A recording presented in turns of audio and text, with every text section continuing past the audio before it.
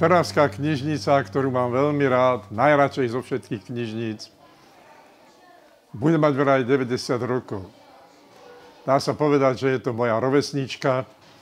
Ja chcem ešte vydržať chvíľu a k Trnavskej knižnici želám, aby vydržala ešte veľkú chvíľu, lebo má úžasných čitateľov, úžasné knihovničky.